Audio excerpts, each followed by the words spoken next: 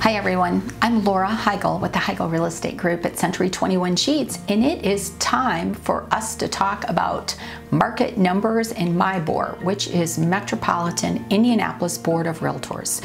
So we talk about three counties, and then we're going to talk about the market overall. First, Boone County, that is Zionsville, Whitestown, Lebanon, the northwest corner of Indianapolis.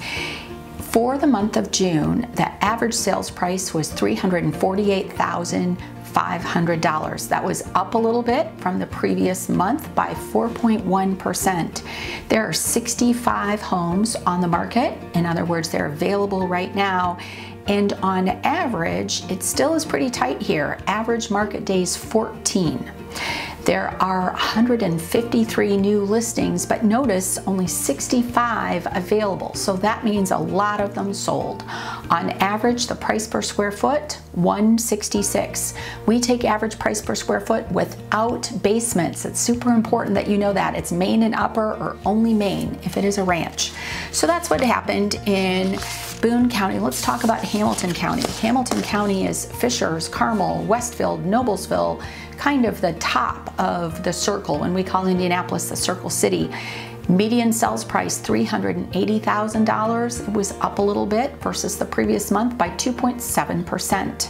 632 homes sold in Hamilton County, and right now there are 271 homes on the market. Hamilton County is a little bit bigger than Boone County is. Price per square foot, 172 on average, looks a lot better than other places in the country. And average days on market is currently 13. There were 793 homes that came to market but again, only 271 available as of right now, finishing out June. Marion County, let's talk about Marion County. It is the home of Indianapolis. It is our largest county, situated it's sort of inside of our beltway, if you picture that. Around 465 is a border. The median sales price for the last month was 220,000 and the average price per square foot $141. There are 909 homes available in Marion County right now, and in the last month, there were 1,667 listings. So a lot of those homes sold as well. That kind of gives you a breakdown from counties. Let's talk about the market though as a whole. So this is all of the Metropolitan Indianapolis Board of Realtors numbers in the last month, we had 4,559 new listings and 4,413 homes sold.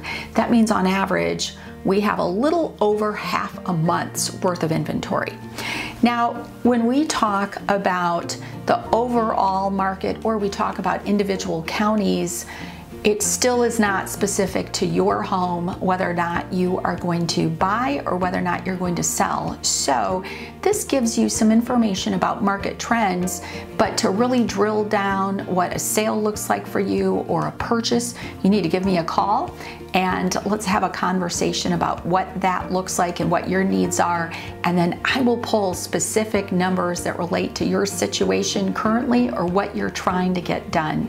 In the meantime, I really appreciate you watching.